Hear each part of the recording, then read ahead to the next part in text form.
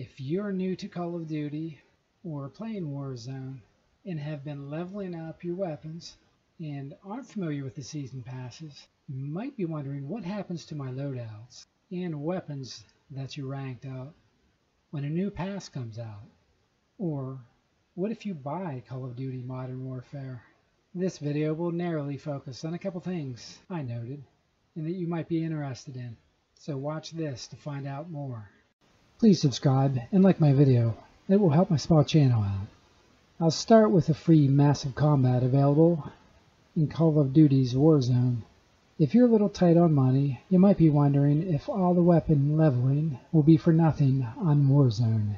If you decide you really like the game and want more great action by purchasing Call of Duty Modern Warfare, I have some great news. Because you do get to keep your rank and weapons that have been leveled after you make your purchase. Plus, you get access to new maps and gameplay challenges, including a great single-player campaign.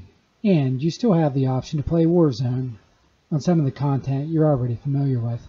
When we went from Season 3 to the Season 4 pass, I want to let you know that I didn't buy the Season 4 pass, and my rank went from 153 back down to 50 it might have been 55.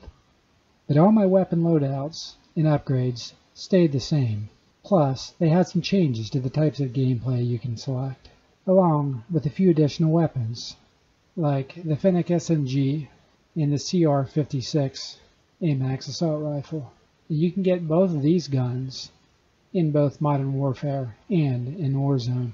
This was just a quick video about a couple things I was wondering when I purchased Call of Duty Modern Warfare, and a couple of noteworthy things that matter to me, and that occurs when the season pass changes. Make sure you subscribe and like this video if you haven't, and thanks for watching.